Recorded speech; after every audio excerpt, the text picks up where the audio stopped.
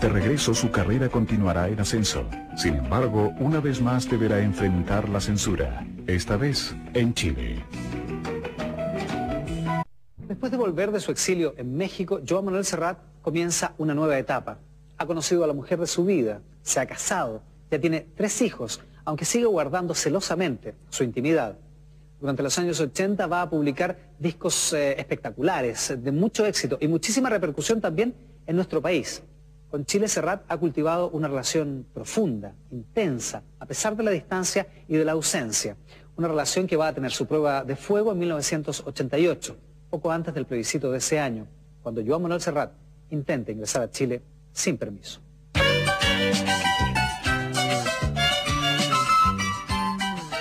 Fiel a su compromiso político, durante los 80 participa activamente en la campaña del Partido Socialista Español, entonando en mitines y concentraciones la canción Hoy puede ser un gran día de su popular álbum En Tránsito. Dale el día libre la experiencia para comenzar y recíbelo como... Son canciones preciosas, ¿no? Y puede ser una, es una canción súper optimista, ¿eh? No dejes para mañana lo que puedes hacer hoy en estas cosas, ¿no? Es, empieza hoy de nuevo, bueno, es, es una canción súper optimista y muy reflexiva, ¿no? Cuando su país conquista la democracia, vuelve sus ojos hacia Latinoamérica, que ahora vive bajo regímenes militares. Sus canciones que hablan de esperanza desafían cualquier censura. Canciones de él se transforman como en himnos eh, porque realmente son eh, canciones eh, que no son panfletarias. No puedes estar prohibido de canciones que hablan solo de paz y solo de amor.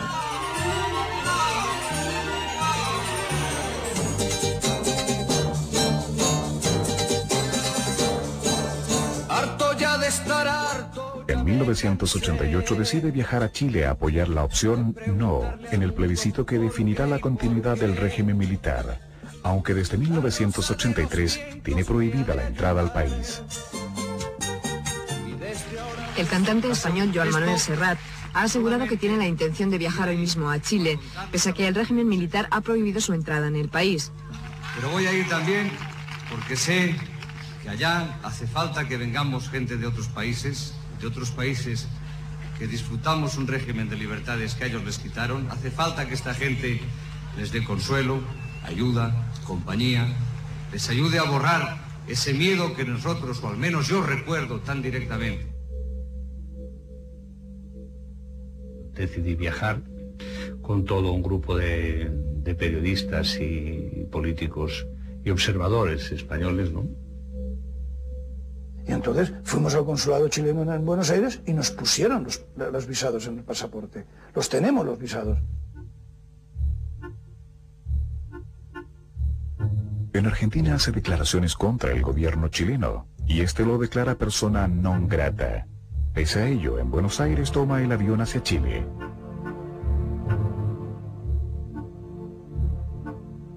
Bueno, llegó el avión a Pudahuel y sí, y la policía subieron al... montaron un dispositivo realmente exagerado, una cosa tremenda. En lugar de esperar que bajara, detenerme y volverme a mandar para arriba, ellos subieron arriba del avión, montaron una mesa en la, en la, salida. El periodista Antonio Travería lo acompaña en el vuelo. Nosotros nos quedamos eh, justo enfrente justo enfrente de los dos funcionarios, el cámara de pie, yo también al lado de él, eh, el cámara poniendo la cámara hacia la derecha para que se imaginaran que no estábamos filmando.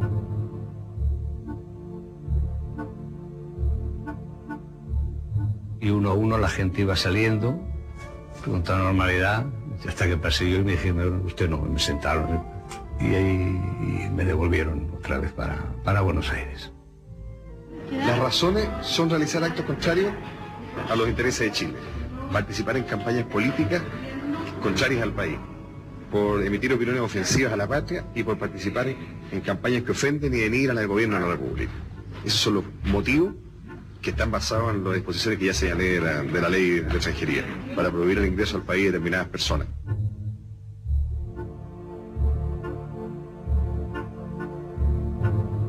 Hecho provoca escándalo mundial.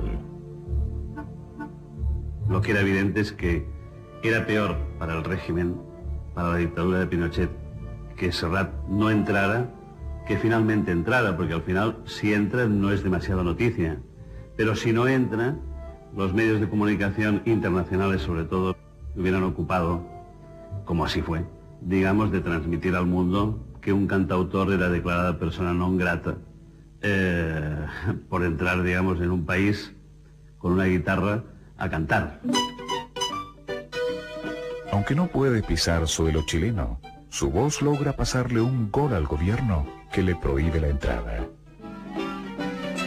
usted que corre tras el... Bueno, y cuando en el, en el viaje eh, hablamos de otra posibilidad que era la de que, en la hipótesis de que no le dejaran bajar, eh, grabar un mensaje en un cassette para que yo fuera el mensajero, digamos, que lo llevara al comando del no. Regando flores de plástico. Eh, entonces nos fuimos al, al lavabo del, del avión. Pues me metí en el váter, con un sentado en la taza, unos pantalones puestos, unos, ma- un, unos- un aparato aquí, empecé, pues grabé un mensaje, ¿no? El mensaje es emitido a través de la radio y en una masiva concentración. Recuerda la periodista Amparo Lavín. Y a mí me tocaba estar, me tocó estar en ese minuto en la concentración del NOM que está realizándose en la, en la avenida Vicuña Maquena. Y bueno, en un, un momento se pone la cinta que él había entregado y se produjo un silencio.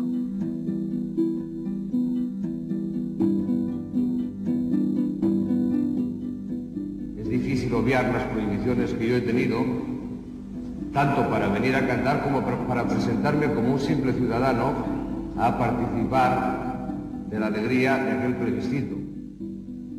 Les mandaba un mensaje de, de apoyo, de solidaridad a la recuperación de la democracia, a las libertades. Eh, les decía lo mucho que, que él sentía no poder estar ahí. Que nuestras conversaciones giren más en torno de música que de cualquier otra cosa. Porque esto, entre otras cosas, querrá decir que ustedes y nuestra relación será más, se habrá normalizado más. Y que la época de la oscuridad y de las tinieblas habrá quedado mucho más hacia atrás y formará parte, eso sí, de nuestra memoria, pero no de nuestro presente. Se terminan de escuchar ese minuto, dos minutos, no habrá sido más, y un aplauso y una alegría, porque yo creo que toda la gente ahí se le pararon los pelos. En abril de 1990 puede cumplir su promesa, cuando viene a Chile poco después de la llegada de la democracia.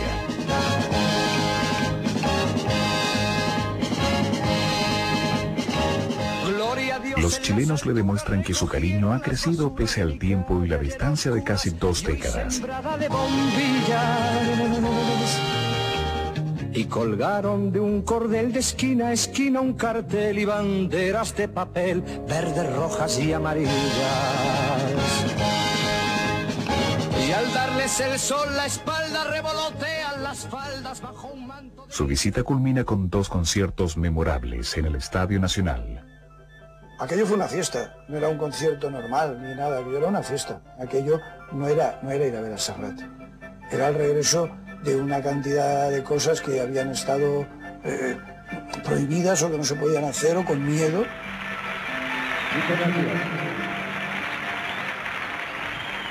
Buenas noches. Aquí me tienen. Dijo, bueno, estoy aquí, perdonen que me haya demorado un poquitito, pero no fue cosa mía. Disculpen si me tardé un poco, pero no fue cosa mía. Yo ganas ya tenía de estar aquí antes. Pero aquí me tienen por fin, feliz y en paz conmigo mismo después de 18 años de no tener un contacto directo con ustedes.